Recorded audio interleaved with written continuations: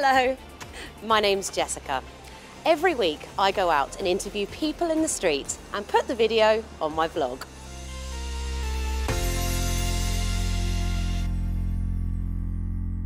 Today I'm going to find out where people live. Where do you live? I live in Oxford. I live in a terrace house, just three stories. I live with uh, four other guys. We all study at university together. Um, I live in a four bedroom flat with a garden. It's fairly big and it's very nice. I live in a medium sized house that has six bedrooms. It has quite a large garden with chickens in, and also a front garden drive, and it is opposite a park. Uh, my house in London is quite small.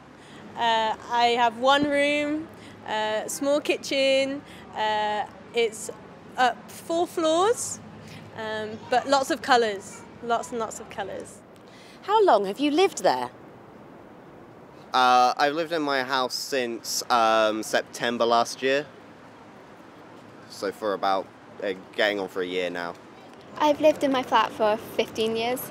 I have lived there since I was eight years old. So since last September. And where do you live?